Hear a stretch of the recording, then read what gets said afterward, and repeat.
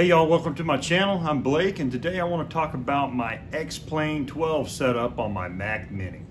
All right, so I'm running a Mac Mini with an M1 chip and 16 gig hard drive and a Samsung 49 inch curved monitor.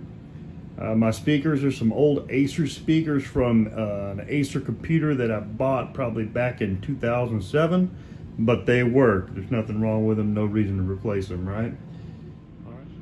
So I've gone with the Logitech flight control system. Uh, it has the yoke here, plus the throttle controls here. And you have a few extra buttons here that you can make do different things. And the rudder pedals. Now, this throttle system plugs into the back of the yoke. And the yoke plugs into this powered USB as well as the rudders rudder pedals.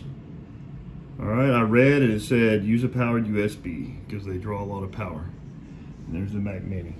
So all of this equipment was all plug and play for the most part. You can just plug it in and it will run on X-Plane.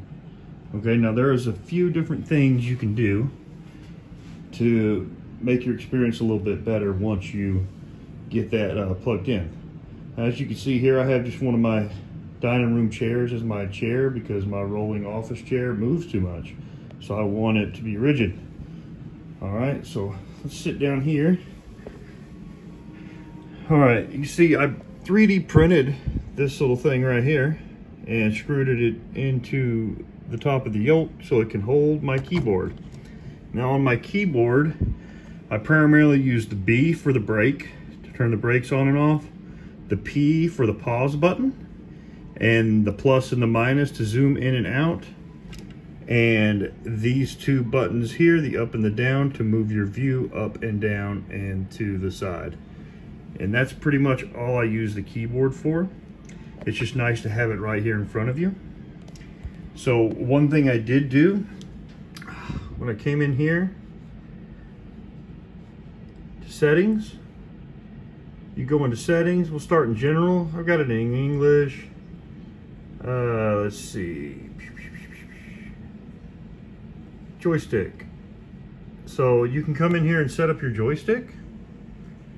And this is all your controls for your yoke. So you can choose what these different buttons do if you want to change them.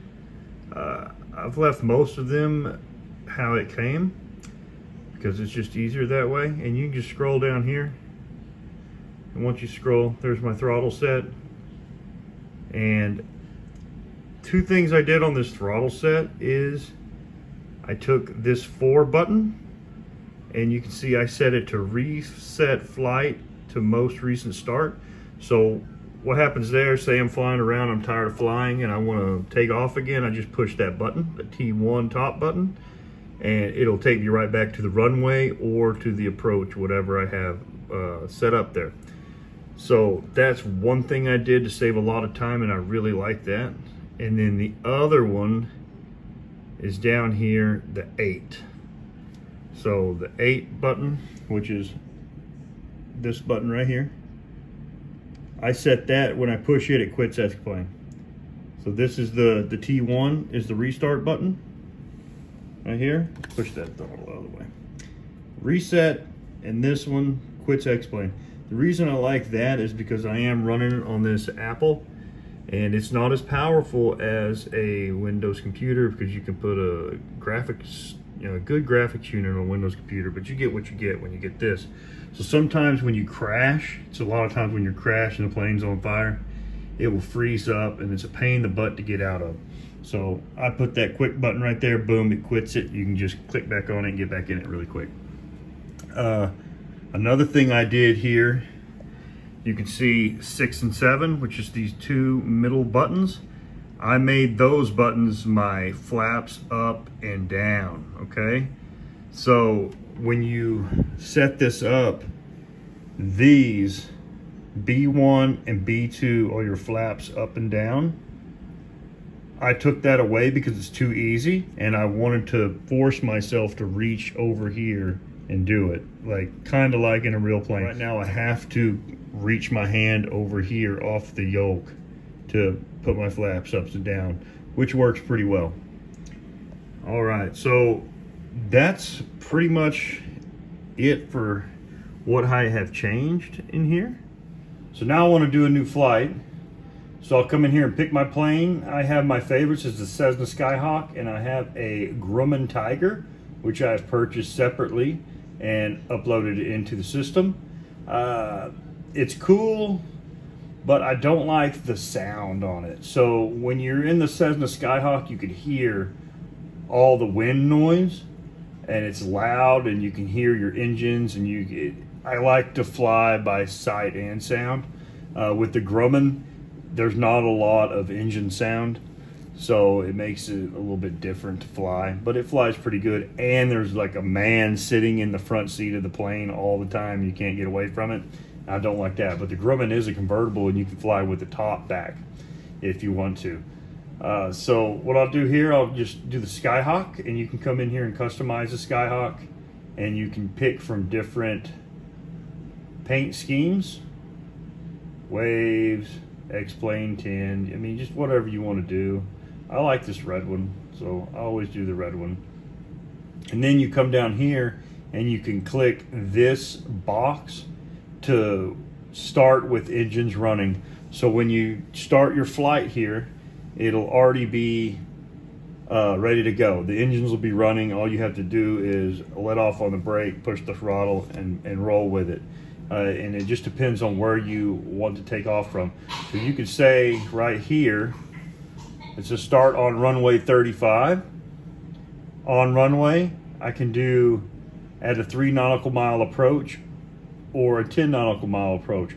So you can either start on the runway ready to take off, or you can put it three nautical miles out coming in for a landing or 10 nautical miles out coming in for a landing. So what this says to the good one to do is a three nautical miles out.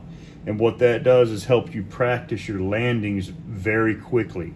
So what I can do here is put it on three nautical mile approach. I'll come in and land the plane. And if I just want to practice landing it, I don't want to go in the full pattern because it takes forever. Uh, then once I land the plane and I'm good with it, I push that T1 down on my throttle set and it resets the simulation where I'm three nautical miles out, ready to land again. And you can just practice that over and over again without any delay. And it's really, really nice. So today we're gonna start it on the runway. Uh, we're gonna do clear, no clouds, and it's gonna be uh, 842, it doesn't really matter. We'll start here at the Kickapoo uh, Downtown Airport, KCWC. That is the airport that's right down the road from me. And that's the one I will be flying out of when I start doing my flight training. So we'll go ahead and start there and start flight.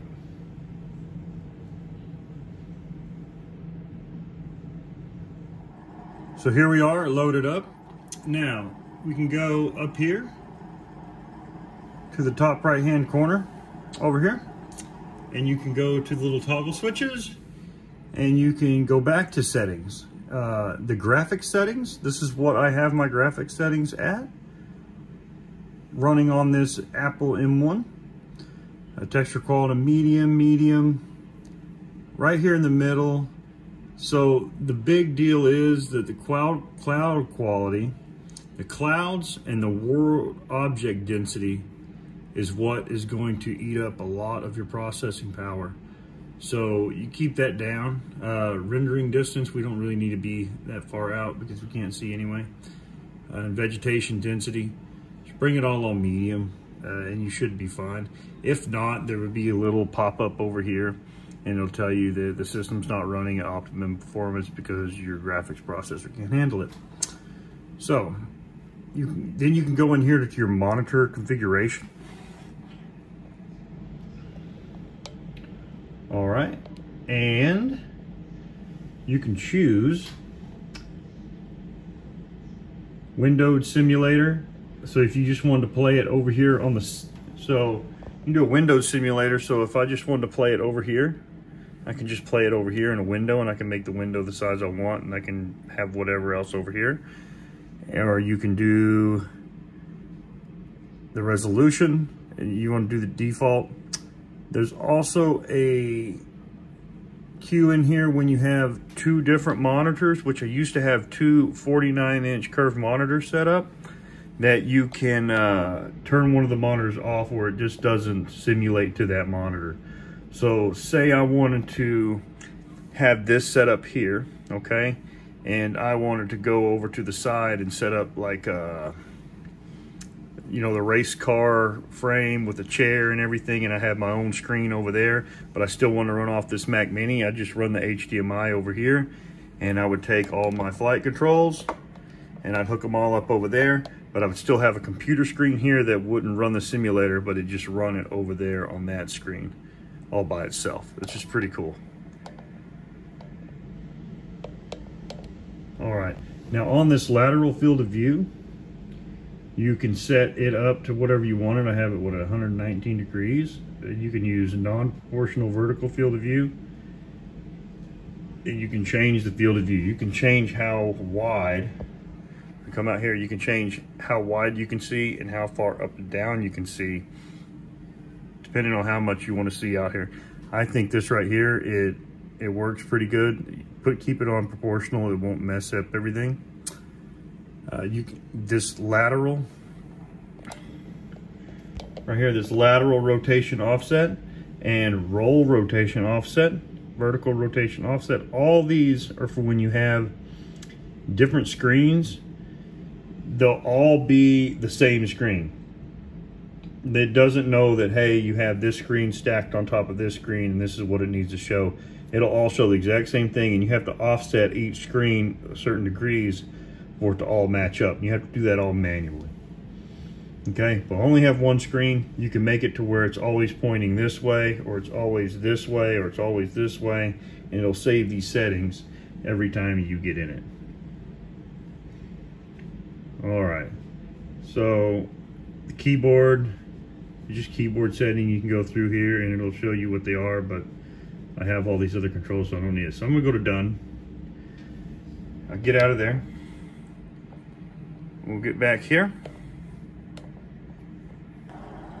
All right, so now that I reset everything, I set it to where my, it's not rendering as many clouds, which I have it on clear anyway. It's not gonna render as many buildings. It's not gonna render as many trees. It's not gonna go as far out, okay? So now we wanna fly this puppy.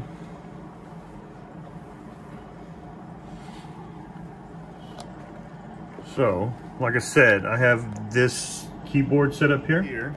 So I have it set up this we'll move this screen so I can look down and you see you can see the the yokes are on there. So when I move this yoke, those yokes move, right?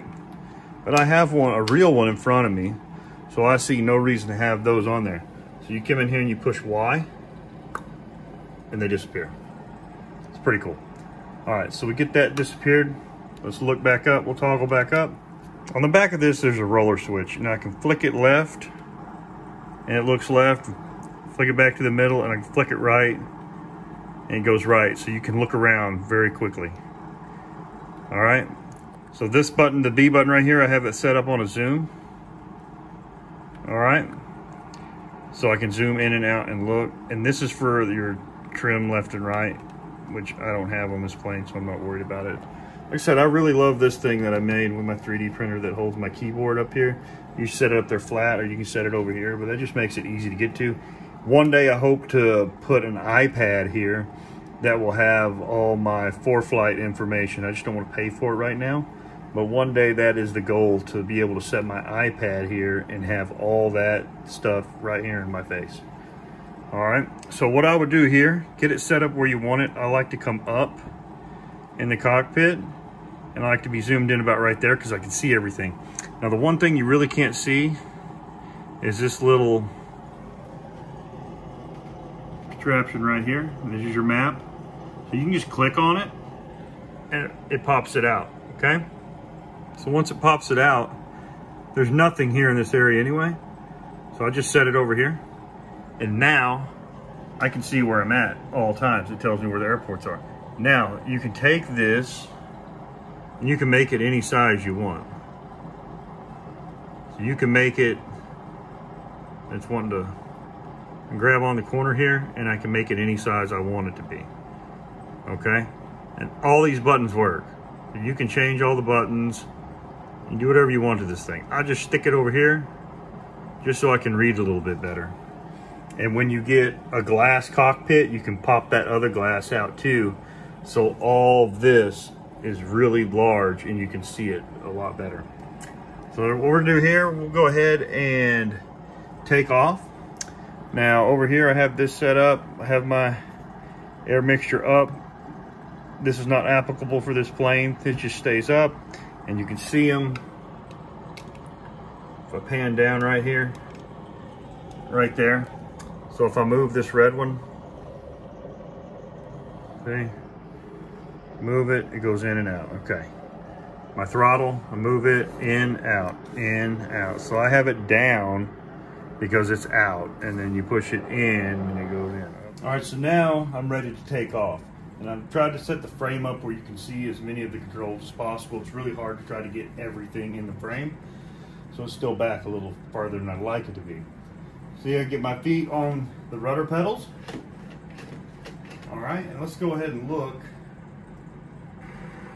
You can see the rudder moving there. We have different views here. We get the front view. This is just pushing shift and one of the numbers. You get all kinds of different views. So there's my rudders moving. And the ailerons and your flaps going down. See, I have that set up for my flap. So you have to reach down so it makes it as realistic as, as you can with the equipment that I have available. All right. Got that going, and then you have your your trim right here. This this A1 and A2 is my trim. You can I don't know if you can see it, but it's moving. So I'm gonna move it back down. It's moving very slightly. It's hard to see.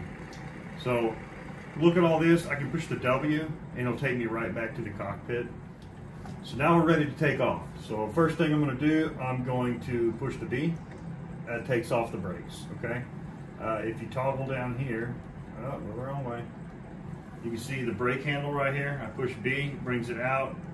Boom, it goes in. Now the brakes are off. All right, so now I come back up so I can see everything set up, ready to go. All right, give it a little bit. Throttle, easing on up. It's going to want to veer left, so you're going to give it a little right rudder. You want to try to keep it right in the middle of the runway. Harder than it looks, I tell you. I'm no professional. I just play this game. You know, I've only flown a plane once, and it looked pretty much like this. You know. So get up here about 55, 60 miles an hour and pull up slightly and it flies. And there we have taken off. All right, beautiful, right? So we've seen enough of that. I'm gonna push the P for pause and I'm gonna go up here to file and I'm gonna go back to the main menu and I'm gonna show you okay, that we can do the same thing, same plane, and we can change this setting right here to a three nautical mile approach. I'll show you what that looks like.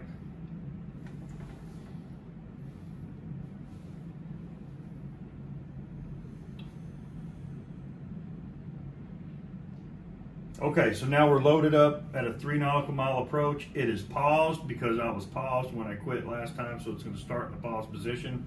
I have my throttle all the way up and here is the runway coming in for a three nautical mile approach. So you just push unpause and here you are, take over the controls, and now you can practice your landings. So immediately start coming down here on the throttle. Try to keep lined up with that runway. All right, and you can let a little flaps down. Now the first set of flaps on the Cessna you can let down out of the white and it's fine. And then once it starts coming down, you can let the other, you have two more notches of flaps. So you want to try to come in on the runway. Now I'm not going to land it. It takes forever to land on this thing, so nobody wants to sit and watch that, so we'll just skip the good stuff and I'll show you. So what I'll do is I push say I landed, I'm ready to go, or I'm off, I'm getting mad, whatever, I crash in the ground, I just push this T1 right here.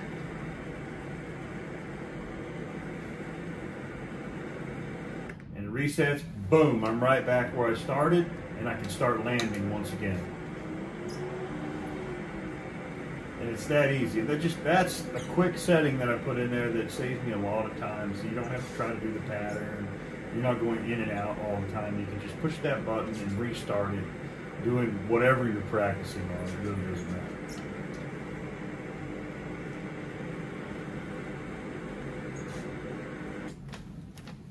So that's all I have for this video. I hope you enjoyed uh, watching it. And this is my setup here. Like I said, I used to have it set up with two screens and the Mac Mini really didn't want to run them. And the top screen was really used just to see the roof of the airplane. It didn't have any, there was no need for it. Let's put it that way. It was too much. So I just went down to one screen, set everything back up, and this is what I work with and I love it. I'm gonna try some new things in the future. I might get one of those little cockpit chairs and do that. I might hook this thing up to my projector and see if I can project it on a wall or into some boxes or something. Uh, we'll see later, but that's that's in the future. But thanks for watching. If you like what you saw, don't forget to hit that like button and subscribe if you want to see more content like this. See you on the next one.